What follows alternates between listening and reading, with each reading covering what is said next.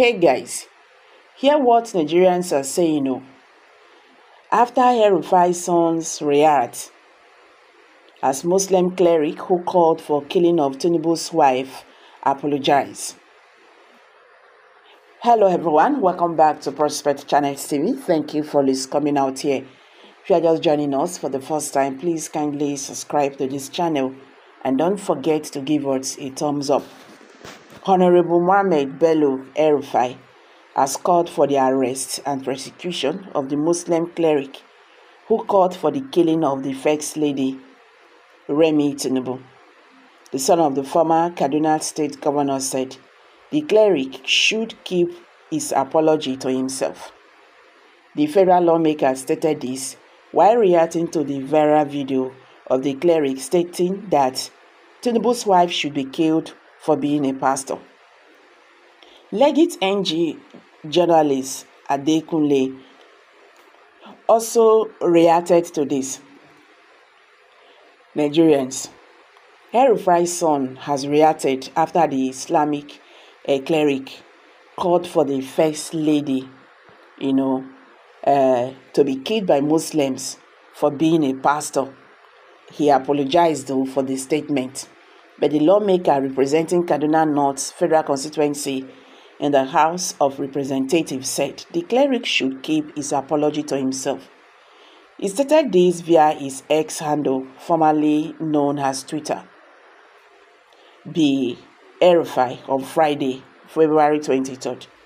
The son of the immediate former governor of Kaduna State, Nasir El-Rufai, is a now deleted tweet. He said security agencies should immediately arrest him and prosecute him.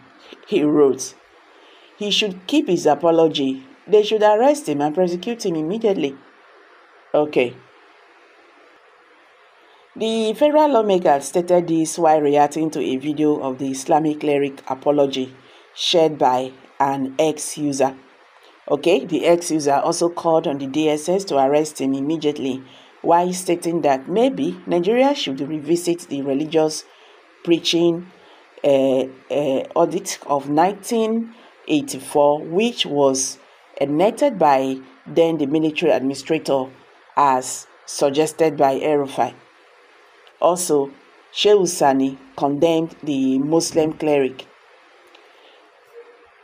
The former Kaduna State Senator Shehu Sani also condemned the statement by the cleric and maintained that criticizing the government and its policies is the right of the citizens, but calling for the death of a first lady is utterly unacceptable. In a video that has gone viral shared on X on Wednesday, uh, February 21st, a cleric was held saying the Muslim Muslim ticket that brought President Bola Tinubu to power was a scam. The cleric, whose identity could not be ascertained by Legit NG at the time of filing the report, this report, therefore, availed that the wife of the president, being an infidel, should be put to death as provided for in the Quran. He, however, did not provide any chapter or verse of the Quran to support, you know, his claim. Now, Northerners are now saying what he said is wrong. He should do this and that and that. Okay, oh, make I ask this question. El-Rufai's son hmm, condemned this while tweeting, and he also deleted the tweet. Why did he delete it? If the condemnation is from their hearts, why do you delete it?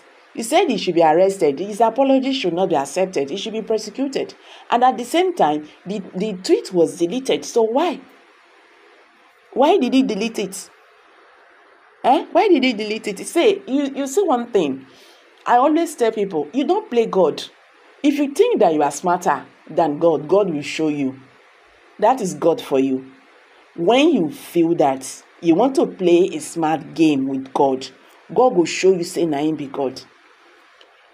The cleric was angry now with President Bola Tinubu and uh, the Vice President Kashim Shettima for their Muslim Muslim ticket.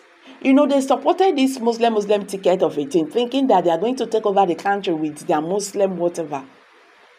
I asked this question that that first time when they are saying why is Christian Christians are complaining about Muslim Muslim tickets. Is anything wrong with it? It's just about the person, not the religion. So you see, with what they are saying, even Murik said it.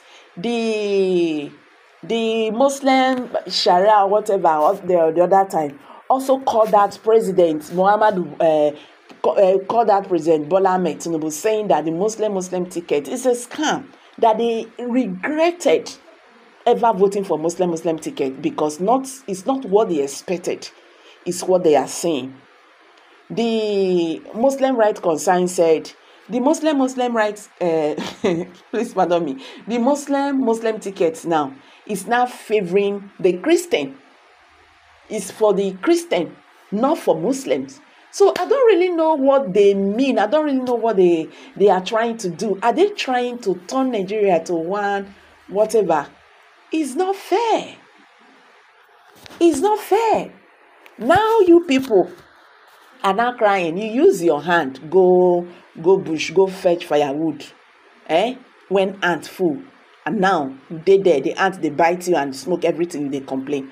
And na the same you when go go bush go fa go fetch the firewood. So you go bear am. Make una no a complaint. so instead of you calling for the death of the wife of president because she's a pastor why can't you caution those people you voted for? Not be she you vote for now. You understand? If if northerners if this condemnation is coming from their heart make dem chest chest it out like the way they used to do. Uh-huh. make dem drag the man out. Make dem drag the man out because they can do that very well. If na christian talk this thing now say e talk and give muslim by now we for don't know where this matter don't reach. Respect people's religion. You understand? Respect people's religion. We should try to do that. Just respect everyone's religion. Calling for someone's death is wrong. Well nigerians are still waiting. There are so many reactions there i'm sorry i cannot take them. Some people are saying you know barbaric religion. So you knew how to react when his father was talking nonsense. He did not react. People are saying so many things here. I'm sorry i cannot take you know uh, these reactions for now. So I beg, how na see this matter? Because this matter don't they carry leg don't they carry hand you know they go like that. Make hear kindly share your thoughts below the comment section. Thank